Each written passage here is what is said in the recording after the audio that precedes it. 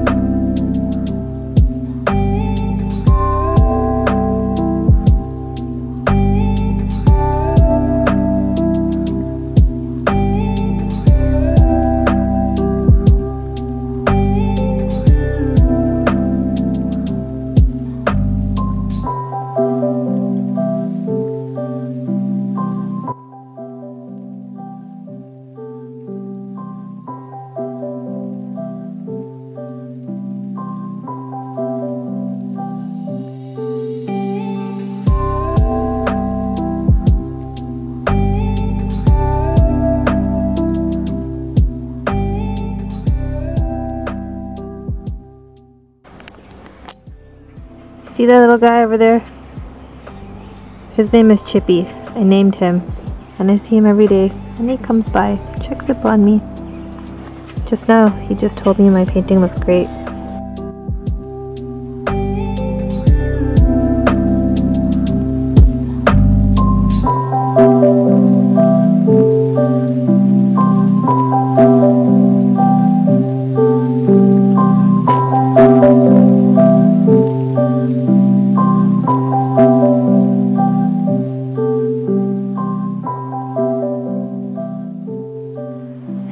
So I waited until the painting was a little bit more dry so I can do some final touches. I don't paint this quickly, so mind you, usually I take much longer to create a painting and there's a lot more detail that goes into it.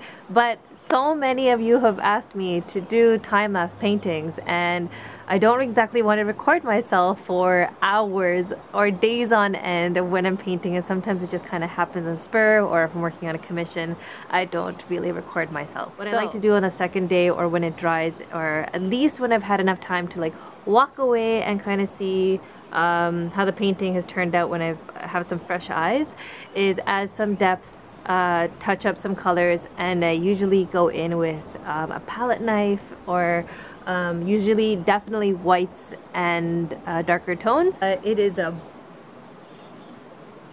beautiful day. I mean, if you could hear the songbirds basically talking to each other, it's really, really beautiful. The breeze is lovely and I wanted to make sure that I finish this painting, at least to the most, for the most part, where it was inspired. So, I hope you enjoy and I'm gonna do some touch-ups and keep on watching.